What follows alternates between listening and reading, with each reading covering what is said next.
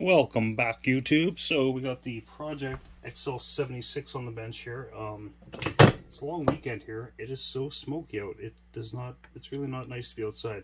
We normally don't camp on May long weekend because it's a little too crazy. It's kind of like the first inaugural camping weekend here in Canada. We were out uh, Easter long weekend because it was quite nice, but uh, I can't have fires right now, anyways. But uh, the province is burning bad, like big time bad. Anyways, to what I am doing here. So,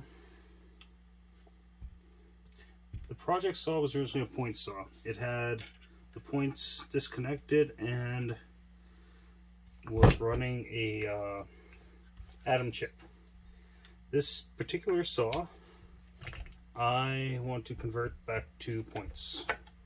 Why? Because why not? The points on here look pretty dirty. Um, actually, I like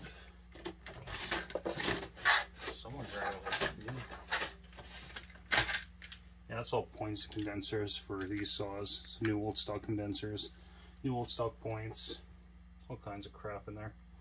But I'm going to try using the points and coil that came out of that um, really gnarly saw that had the uh, full wrap handle. Because, this way, you can see some of this. Maybe, maybe not. Yeah, I can see some of it. I'm just kind of rambling on anyways. Um, but yeah, so this saw is going to be converted back to points. Get these old gnarly points out of here.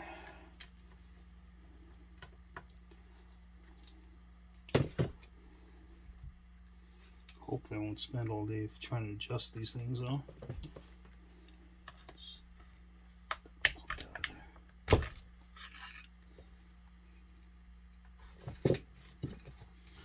Don't you just pop out?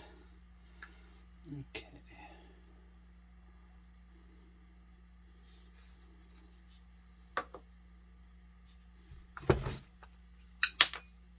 Screws out of there. Okay, while we are in here,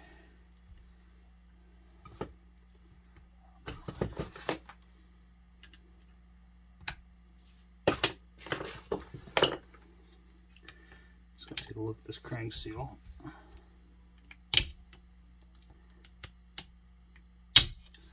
All down that part saw that I was just talking about, um, the full wrap, it, um, yes, definitely gonna need a crank seal.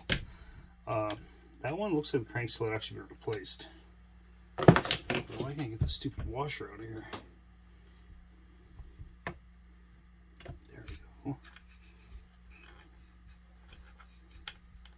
Yeah, you see how slimy and gooey that is? Kind of tells me that that crank seal is done because crap was definitely leaking past it. So, let's see if I can get this out easily. Have to pause the cameras because I gotta swear a thousand times. It's one of the sad days where I realize that I really need to start getting glasses. Much, too much. And pause you guys for a second here. Okay, so we are back. I just had to fight with that crank seal a little bit. Um, so yeah, here's the one that came out of there. I'll pick it up, but you can feel that it's uh, deteriorated. It, it, mean, it's malleable, but it's got that rough, like, you crack it easily. Yeah. It's so done. That crank seal is done. So, get a new crank seal. And for the flywheel side, these are the correct ones. The CRSKF 6119 is the correct seal. Okay, so I use a piece of um, half inch aluminum pipe. Seems to work okay. Let's get the seal on there nicely.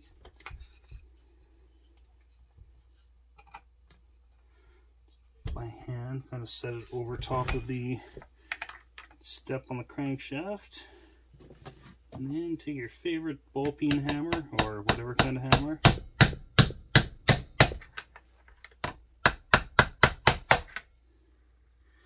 There, that crank seal is set perfectly.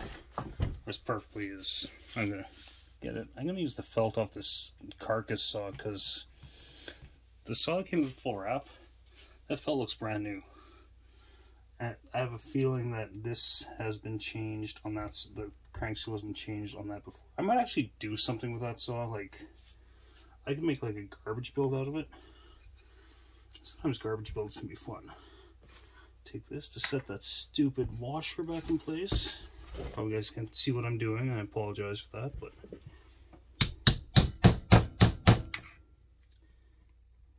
that is in. Very nice. Okay, now the point setup that came out of that other saw, because everything's here. This could read that.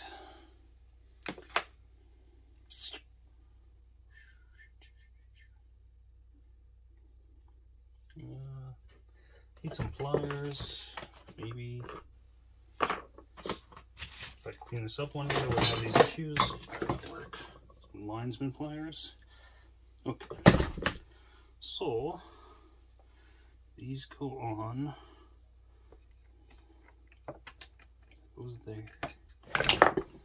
A lot of people don't like points. They seem to work okay. I mean, I have a lot of Homelites around points, and in some ways they're less problematic than some. Some of the saws that electronic ignition. Like those blue Prestolite coils that are horrible and notorious for working one day. So like the saw I'm going to send to JK here eventually, um, that Super XL 130, it currently has a blue coil. I baked that coil, but I'm having problems starting that saw. And I don't think it's because of the carburetor. It could be a carburetor issue, maybe, but I think it's just the um, the coil is only working intermittently, which makes a lot of sense because that's what they do. They're they're bastards that way. As far as chainsaw co coils go, those guys are kind of the assholes of the chainsaw coil world. There is such a thing. Okay. Stator plate should be completely counterclockwise, I do believe. I can tighten it down there and just see if the points do point things. Uh, if you guys pick that up, maybe, maybe not.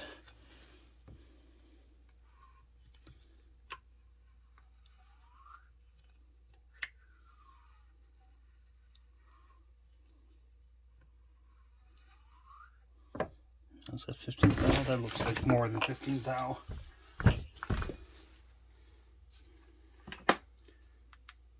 It's like almost a 30 second. So I would correct that by sorry, I'm not I'm not a points guru. Um understand them. I know how to work with them, but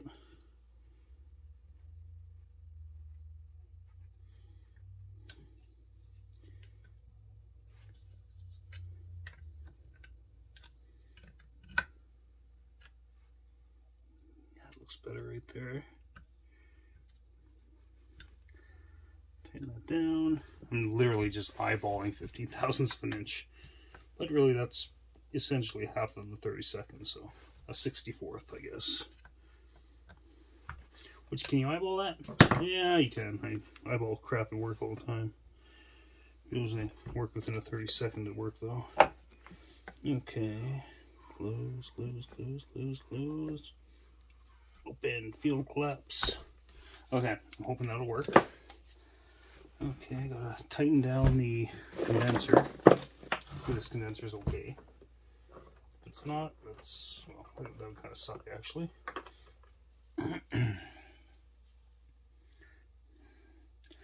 I guess we'll know soon enough, because...